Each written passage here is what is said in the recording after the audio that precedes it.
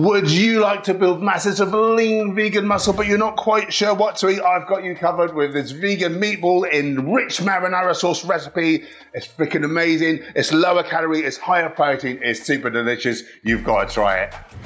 Let me introduce you to the fellas. For the meatballs, you will need 30 grams dry weight of textured vegetable protein mince, one tablespoon of ground flax seeds, 10 grams of gram flour, half a teaspoon of garlic powder, quarter of a teaspoon of onion powder, one tablespoon of nutritional yeast, quarter of a teaspoon of smoked paprika, and plus salt and pepper to taste.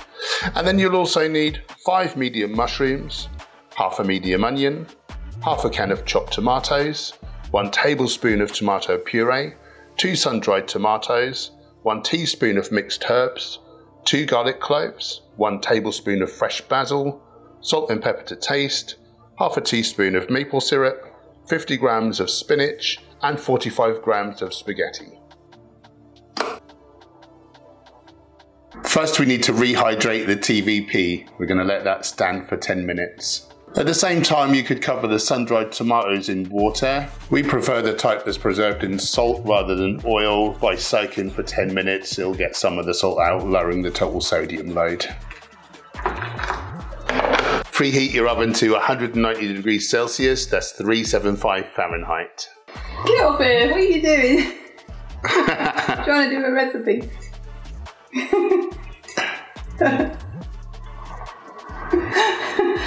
Feel this bubble.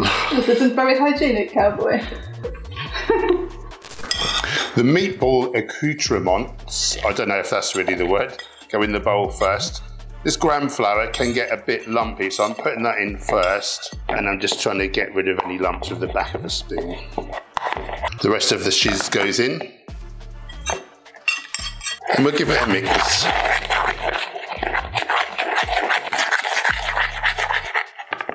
What are you doing? Stealing the show? You're always stealing my limelight.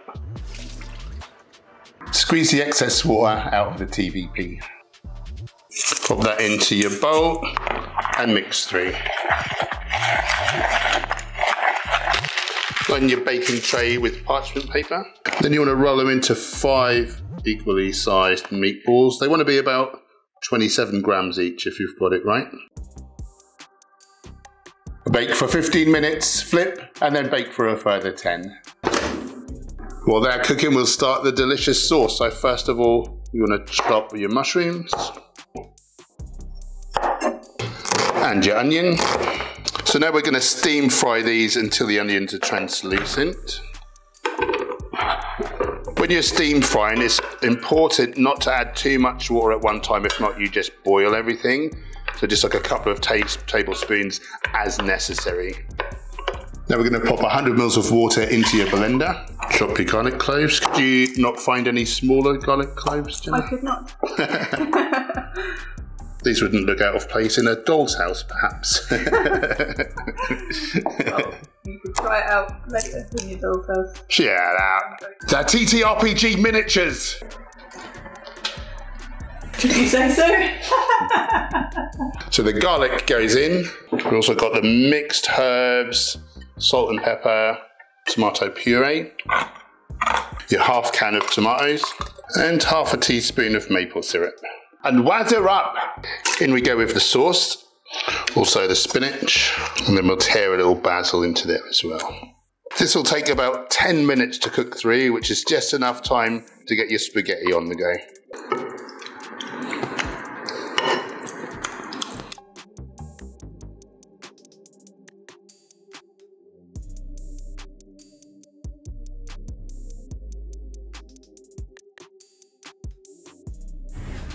Of course, this is the main part of any taste test video. What? oh my god.